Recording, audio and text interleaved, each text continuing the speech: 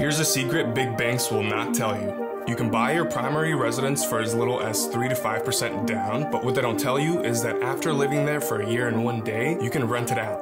The cool thing is, you can use that rental income to qualify for the next property with as little as 5% down, and then you rinse and repeat and build up your investment portfolio. Share this with someone.